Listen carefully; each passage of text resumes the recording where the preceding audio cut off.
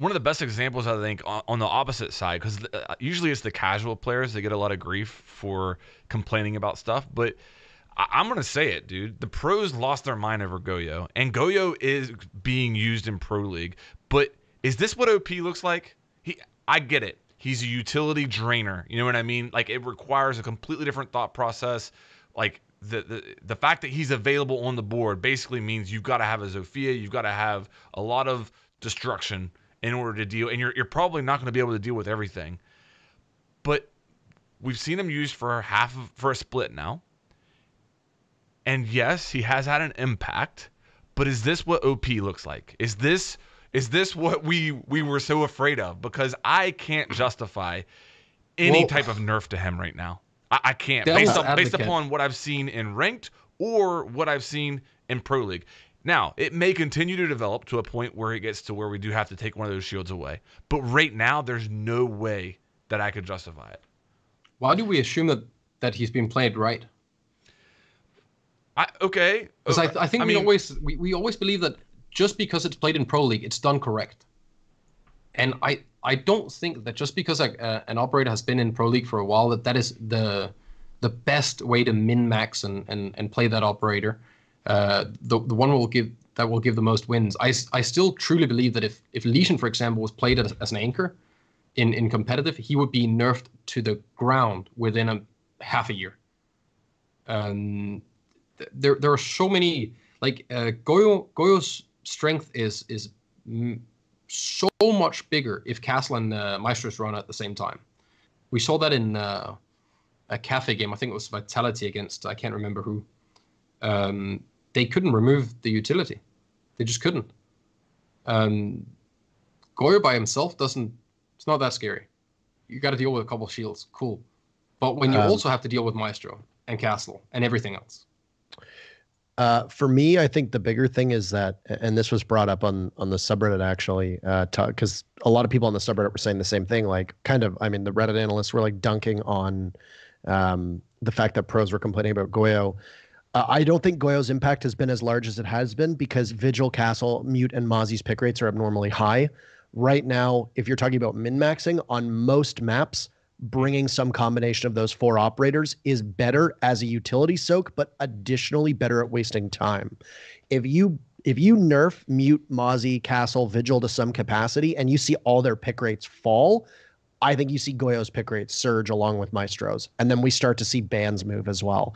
Because right now, Mute and Mozzie are far more effective than Castle Goyo. They're far more effective than Maestro Goyo. They're number one, they're a lot harder to shoot the pests and the jammers than to soak through three of those Vulcan shields and to deal with either castle barricades or evil eye cams. You can still bring information with Mozzie, and you can then run a Valk or even run a Maestro or run an Echo because there's only two defensive operator bands. I, think Goyo's usage has been suppressed just because there's a better and stronger alternative, which is Mute, Mozzie, maybe Castle, maybe Vigil. Those you can play both them off site it's going to take a lot of time for you to drone effectively. You roam a lot better with it.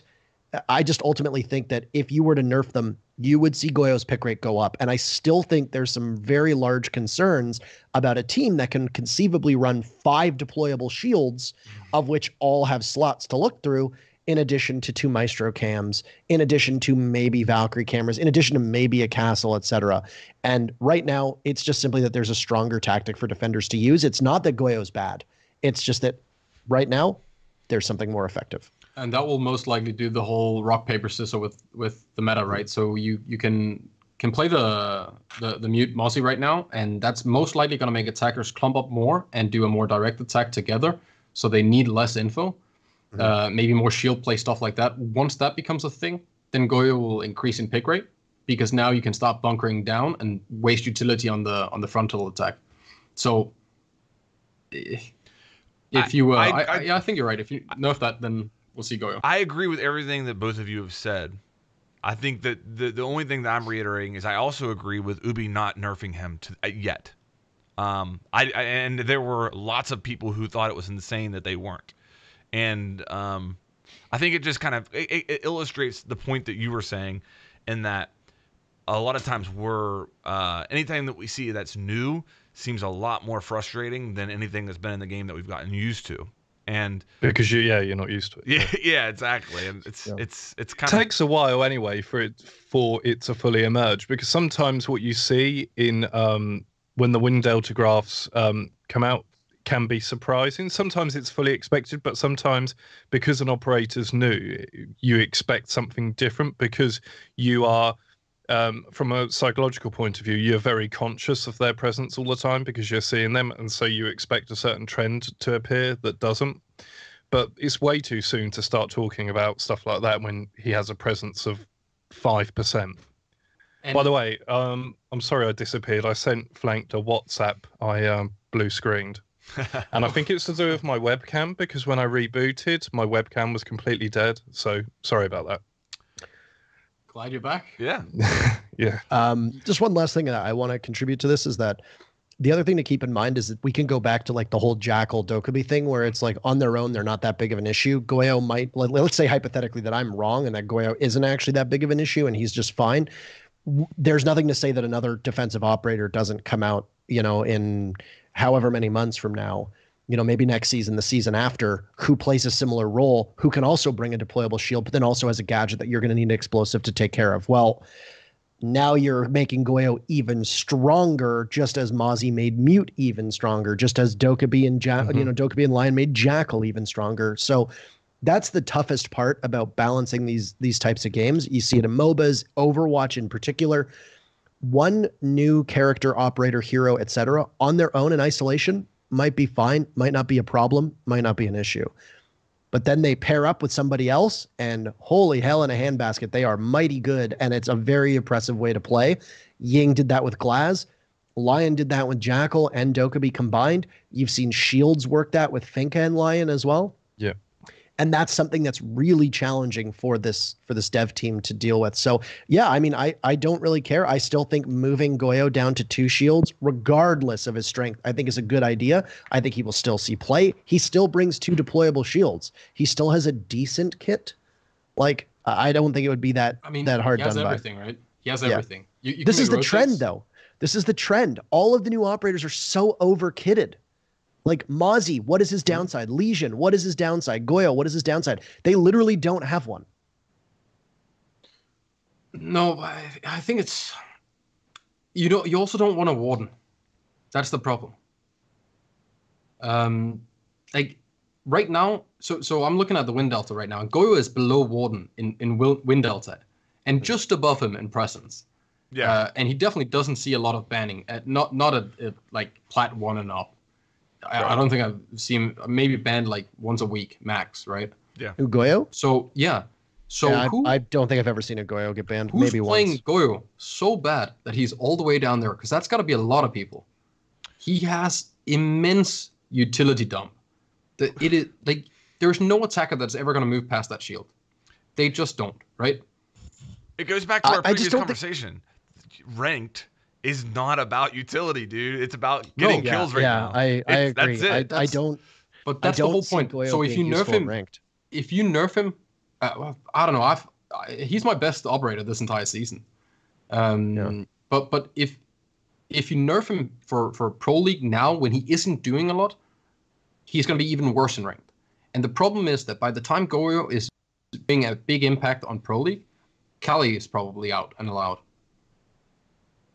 I mean, my thing is, it's just like it, with Goyo. Uh, number one, I mean, I played a lower elo than you. I played around plat two, plat one right now. Uh, not a significant step down, but it, I think enough. And I'm I usually play solo as well, whereas I know Yeah. you tend to be with a group. So I mean, obviously, what I'm going to see is is few and far between in comparison to you. It's it's a much smaller sample of, of actual team play.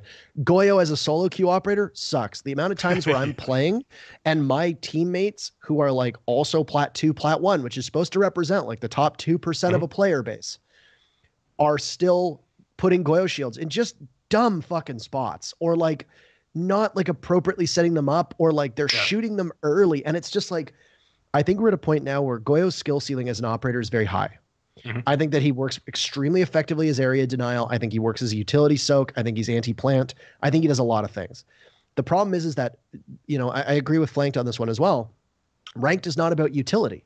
You know, people that that use Zofia realize how integral she is for a site push or for opening up sight lines. They just use them to open up a wall and then walk through that wall, like on the other side of the map. And you're like, what are you doing? Just bring breaches at that point. Like people are not they're not really thinking about it. So Goyo in Pro League is going to be very different than he is in ranked, and I think that's this is one of the follies with uh, with I think with balancing around ranked is that my experience in EU ranked, primarily solo queue, is that the people who are playing this game have no fucking clue what it is like to play in Pro League, which is fine. It doesn't need to be Pro League.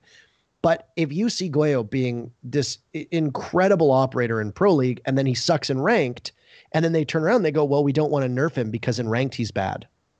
No, that doesn't hold water with me. You know, No. it, it's it's similar with Ying. They were saying like for a while back, and Castle the inverse, where they're like, we want to buff Castle because he's bad in ranked. His stats are terrible. He's never picked. He has a low win delta. And it's like, yeah, but in in pro league, he hovers around 20 to 30 percent, and he's instrumental in a lot of defenses mm-hmm. at enabling defenders to play a certain way. He doesn't need a buff. And then the same thing with Ying. When Ying was so strong, they're like, well, people don't really know how to use her in ranked. She's got a terrible win rate. You know, let's buff her gun. And people are like, why are you buffing her gun? She's already at a 30% pick rate in Pro League and she's single handedly destroying executes. Like, why? I don't think you can necessarily just look at ranked for that. That was exactly my argument. You don't want to nerf him yet in Pro League because he hasn't had a big enough impact in Pro League yet. I agree with that. Um, You like, I'm I'm fine with hitting him the second it starts lo- looking or smelling like Ying Glaz meta. Yeah. Sure. Um, but I, I also kind of enjoy watching the chaos of a crazy meta happening and then waiting to see who figures out how to break it. Because there will be someone who figures out how to break it. There's a weakness in, in goddamn everything. Yep. And no one can make a strat that, you know, can't be broken or something where there can't be a counter. And it kind of it separates the different teams. You can see that from just pick and ban. Like some teams are extremely smart with their pick and bans, and other teams just have a default that they like to go for. Some teams make massive mistakes when they they do their pick and bans. Mhm. Uh, operators, uh, not not maps. I mean, it happens with maps as, as well. But that gamble, when it pays off, that that creates a really really good match. Um, I'd just be sad to not see Goyo's full potential before he gets nerfed.